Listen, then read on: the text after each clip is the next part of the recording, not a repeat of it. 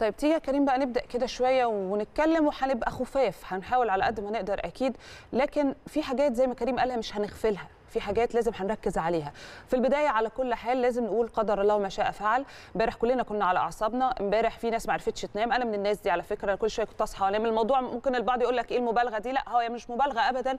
هي الفكرة كلها إن أنت تأهلت 15 مرة لهذه البطولة. وكسبت 10 خسرت خمسة ما زلت أنت الكبير. ولكن برضو عشان أنت الكبير إحنا كنا متوقعين إن إحنا نقدر إن إحنا نحقق النجمة ال11 اللي كلنا كنا بنأملها من ساعة لما حصلنا على النجمة العشره لأن إحنا كنا نقدر. لكن لو هتيجي تتكلم في كان عوامل خارجية آه البعض يقول لك العوامل الخارجية دي لا تؤثر. لا معلش اسمح لي. العوامل الخارجية دي بتؤثر بشكل كبير بدليل ان إحنا اتكلمنا في الموضوع ده أكتر من مرة وعلى مدار الأسابيع اللي فاتت مش الأيام اللي فاتت لأن إحنا كنا عارفين إن الموضوع مش مظبوط. في حاجة مش تمام. وتاني الكلام ملوش علاقة ابدا بدولة المغرب خالص. أنا بتكلم على الكاف أنا بتكلم عن هذه المؤسسة المسؤولة بشكل مباشر عن الماتشات عن البطولات عن هذه المباراة اللي totally كانت unfair في كل حاجة. أنا مش بتكلم عن unfair play بس أنا بتكلم عن ظروف خارجية وغيره وغيره وتنظيم وامبارح شفنا مشاهد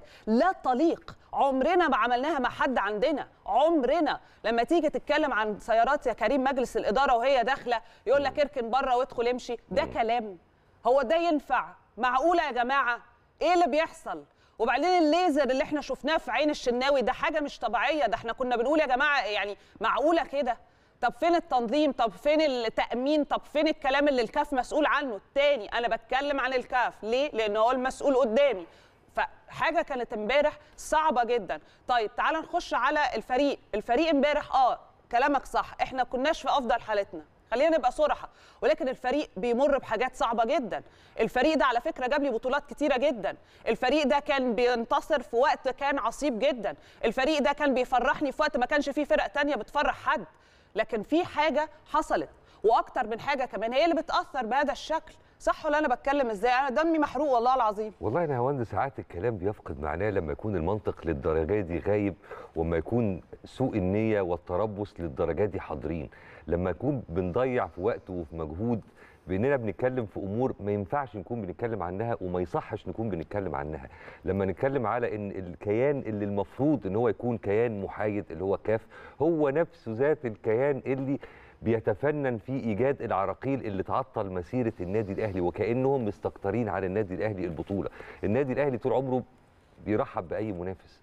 المنافسة عمرها ما كانت يعني حاجة بعيدة عن تفاصيل تركيبة وعناصر النادي الأهلي لعيبة وجماهير. لكن اللي بيحصل وفي الفترة الأخيرة ومتكرر بشكل فج جدا وبشكل يعني يثير الاستياء ويثير الاندهاش ويثير الغضب ويثير كل حاجة مؤسفة ما كناش نتمنى نبقى بنتكلم عنها. تاني الكيان اللي المفروض إن هو يكون محايد المفروض إن ده المرجعية اللي بترجع إليها وتقول إليها الأمور هي نفس المرجعية اللي خربت الأمور. وح... يعني ما أعرفش أنا شخصيا مش قادر أحدد يعني ده في مصلحة مين؟ اللي من حضراتكم عنده فكر في هذا الإطار يا ريت يمدنا بيه يقول لنا الكلام ده في مصلحة مين؟